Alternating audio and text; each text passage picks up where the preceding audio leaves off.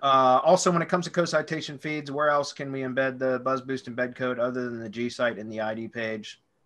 Thanks, you guys are legends. Thanks, Joel. Um, I haven't used it anywhere other than that. Um, there, I mean, I'm any, you know, you could, you could, you could embed the Buzzboost embed code using our, our embed gigs at MGYB, for example.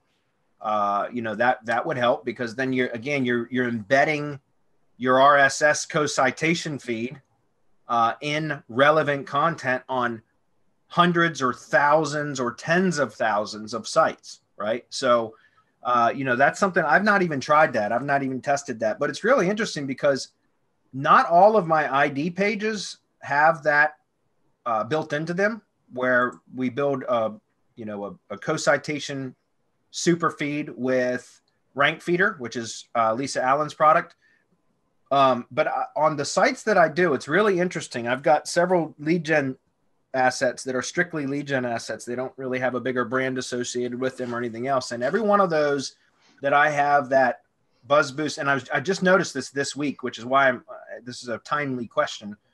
Um, I've noticed that every one of those, even ones that I haven't touched because they were really for like development purposes, like I'd set up some GMBs for testing and things like that, they're all ranking and generating leads and some of them aren't even monetized. Like in other words i don't even have a lead buyer for some of them. And i just was noticing that every one of them that i was looking at this week had that. So i'm thinking about creating a uh, a process and then having one of my vas go through and actually do that for all of my lead gen assets. I, again i don't i can't swear that that was why those other lo- locations are, are still ranking but some of these are like two years old never fucking touched them never done any work no no press releases no nothing and yet they're still in the three pack. Like two years later with no additional work being done other than uh, you know the the id page is continually updating from the Buzzboost feed that's in there. So anyways i don't know of anywhere else to that you would embed that. Maybe marco has some ideas but using the embed gigs and mgyb might be something worth testing. Anywhere where you can answer the code. Actually access the code. You got access to the code you can insert an iframe. I mean, that's literally anywhere where you can access the code and get a an, a, uh, an iframe. Again, you just said it.